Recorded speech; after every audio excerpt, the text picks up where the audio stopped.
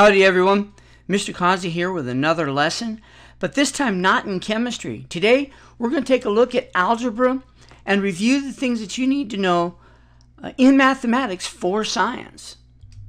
It's said that mathematics is the queen of the sciences, and I totally agree with this idea. You need to be good in mathematics or have a working uh, relationship with algebra in order to be any good in science. So in this lesson, we're going to talk about expressions, integers, PEMDAS, or the order of operations, and how to solve equations.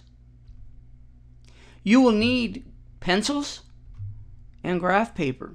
And graph paper is uh, the best to use here because it'll allow you to keep your work neat and orderly. You must know how to add, subtract, multiply, and divide you need to know how to use fractions. You need to know decimals and percents. So let's talk about algebraic expressions. A term, there's a variable, your coefficient, your exponent, and of course you want to be sure to recognize constants, and constants don't change. Algebraic terms a variable, constant, product of a variable and constant, or quotient of a variable and constant. And there's some examples. A monomial is a specialized type of term. It's an algebraic expression with one term. 3x squared is a monomial. A polynomial, an algebraic expression with more than one term. A binomial and a trinomial are polynomials. And then anything larger than a trinomial we just call a polynomial. The binomial, an algebraic expression with two terms. 3x plus 5 is a binomial. The 3x is one monomial and the 5 is another monomial. The 5 is also a constant. A trinomial, an algebraic expression with three terms. x squared plus 3x plus 5 is a trinomial. And trinomials become very important in algebra as we uh, expand into our knowledge. Variable, a letter or symbol representing an unknown. X, Y, or Z are variables. A constant, a number or letter that doesn't change. 3, H, or C are all constants. H happens to be Planck's constant, which we will use in chemistry. Coefficient, any one factor or product of factors in a term. 3x squared, where 3 is the numerical coefficient of x squared, and x squared is the literal coefficient of 3. But usually, we're going to be talking about the numerical coefficient when we say coefficient.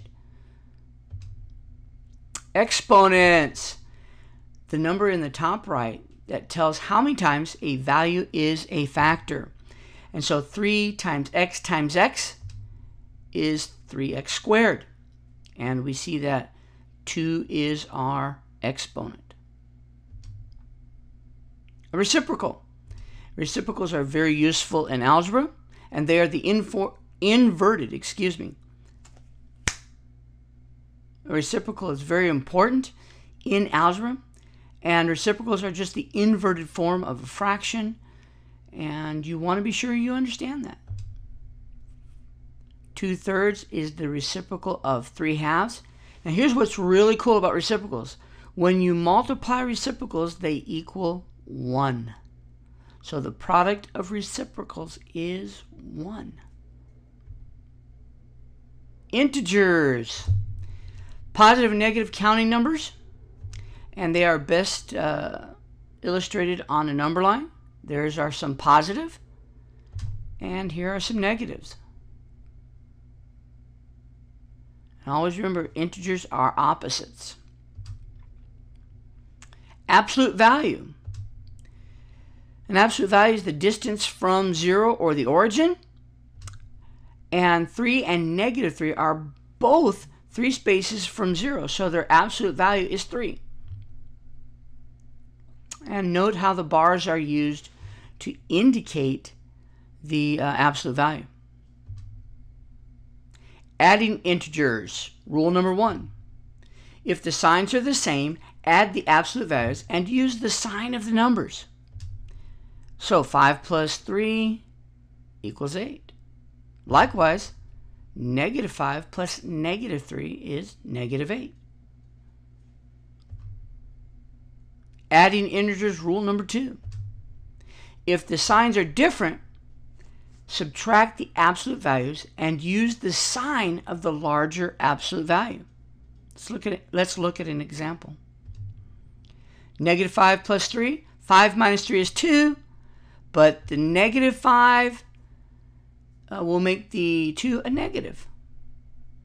Basically, there are just more negatives than there are positives. Subtracting integers. If a and b are real numbers, then a minus b is the same thing as a plus negative b. And a lot of times it's helpful to go ahead and change the um, subtrahend into a negative number. Example 7 minus 4 is the same thing as 7 plus negative 4, and of course that equals 3. Or 7 minus negative 4 would be the same as 7 plus 4, which equals 11. And remember that a negative and a negative uh, is a positive. Integer practice. Let's look at some examples here. 3 minus 14 is the same as 3 plus negative 14, which is negative 11. And negative 14 minus 21 is negative 14 plus negative 21, which is negative 35. And then we have negative 14 plus 21, which is the same as negative 14 plus 21, which is 7. Now take a moment and look those over. Go back and uh, go through them again. Or uh, ask your teacher for some practice problems. Multiplying and dividing. If the signs are the same, the answer is positive. Examples 5 times 3 is 15, and negative 5 times negative 3 is still 15. Multiplying and dividing, if the signs are different, the answer is negative. Negative 5 times 3 is negative 15. Negative 15 divided by 3 is negative 15. Now note there, when you're dealing with the multiplying and dividing uh, with different signs, there's always going to be two negatives and one positive. Something to look forward to. All right, evaluating algebraic expressions. Very important to be able to evaluate the expressions in algebra. So, determining the value based on the variables and operations. 5x plus 3 is our expression, but if x equals 2, then we can substitute the 2 for the x, and 5 times 2 is 10, and 10 plus 3 is 13.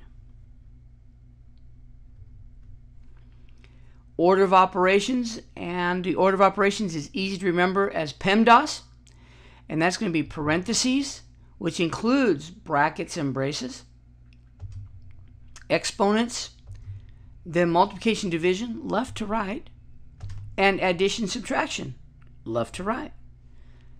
And the order of operations is something that scientists agreed on uh, a long time ago, so we just need to go ahead and follow suit. Using parentheses, brackets, and braces, always begin with the innermost symbols. So when we look at this situation here, let's start with negative 2 minus 4 which will be negative 6. And then negative 6 minus 3 will be negative 9. And then 3 times negative 9 is negative 27, and negative 27 minus 2 is negative 29.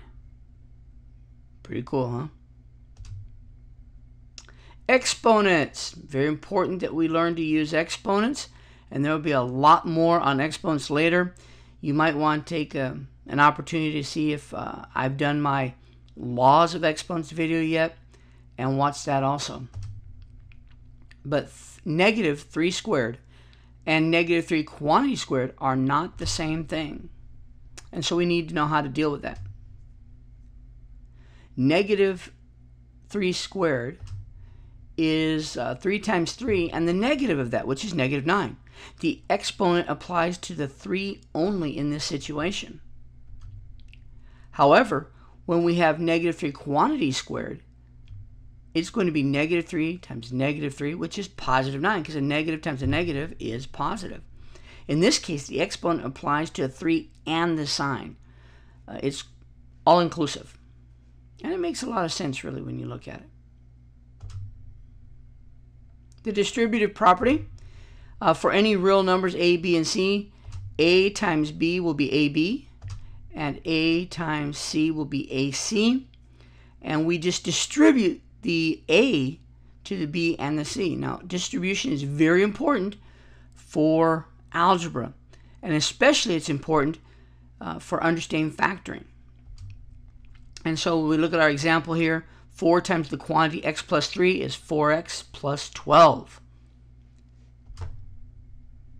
Substitution property, if A equals B, then A can replace B, and that actually makes a lot of sense. Notice that if x equals y plus 1, then we can put y plus 1 in for x. And substitution is used a lot, especially in the sciences.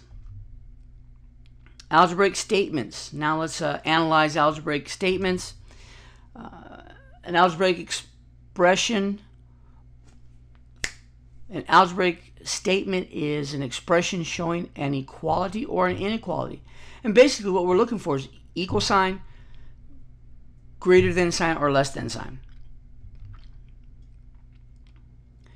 What's most important to us, though, is the equation, an algebraic statement consisting of two expressions connected with an equal sign, such as x plus y equals 1.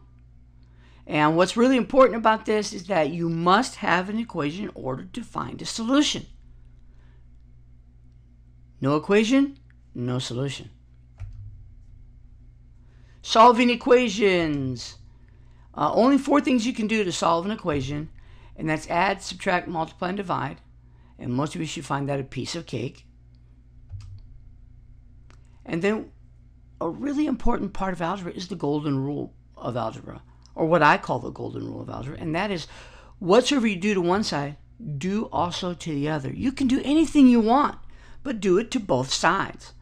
Very important in order to keep the balance of the equation. Let's look at an example. Solve for x. 3x equals 9 over 2. Now the first thing I'm going to do there is multiply by the reciprocal of 3, which would be 1 third. Cross cancel, and voila, x equals 3 over 2, and the problem solved. Now that's pretty easy, but notice the usefulness of uh, reciprocals. Let's try another one. Solve for x. And x plus 1 over 2 equals 2 over 3. Now, the first thing I want to do here is multiply by 6 for two reasons. First of all, it's the lowest common multiple of 2 and 3. And I want to do what you call clear the fraction.